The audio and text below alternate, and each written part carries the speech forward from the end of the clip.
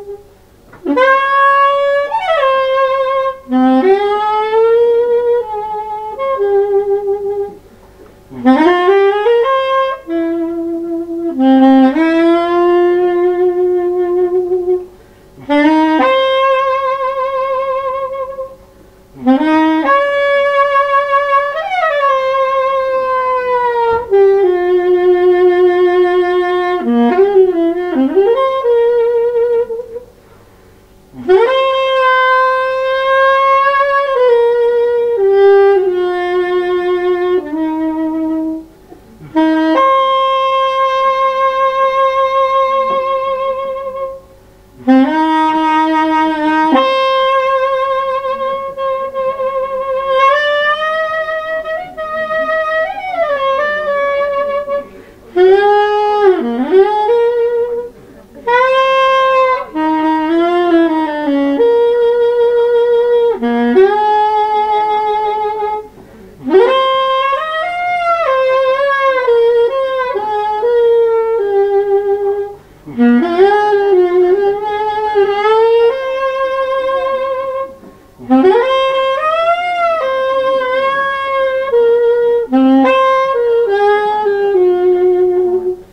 Mm-hmm.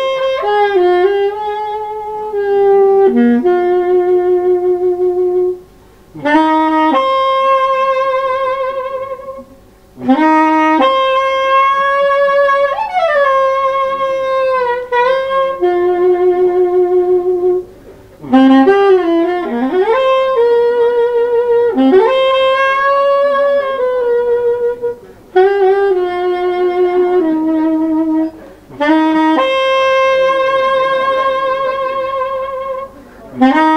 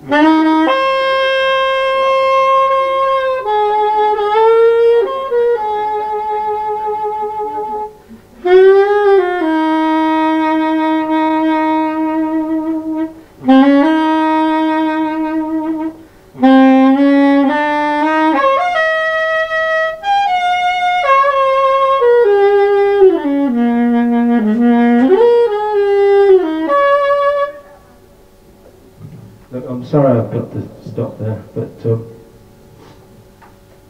I was hoping that um, I knew a lot of new people had come in uh, during the break, and I was hoping that I could get you on my side during this set by convincing you that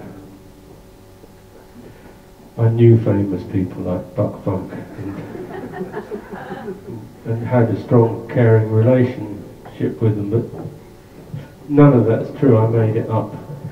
Um, I really thought that it would help me to get some response from you and some concern and some kind of deep feeling which would help you to like my playing even more.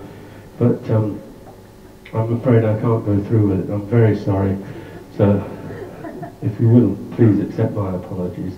Um, that was all just, that was just faking. Um, I don't really know Buck Funk. I've never met him. I do, I do like him, but I've never met him. The, the whole thing about um, having a message, none of that was true. It's a student student union handout about problems with um, accommodation. Something like that, anyway. Um, so I'm, I'm very sorry, and I'd like you to accept that not as being the start of the second set. Um, I wouldn't want to say that it is the start of the second set. That would be very unfair to you because you paid good money and you don't want to waste your good money on rubbish like that. So just pretend it hasn't happened and I'll play a really nice set now. Thank you very much. It take me just a few moments to recover from my embarrassment, but not very long.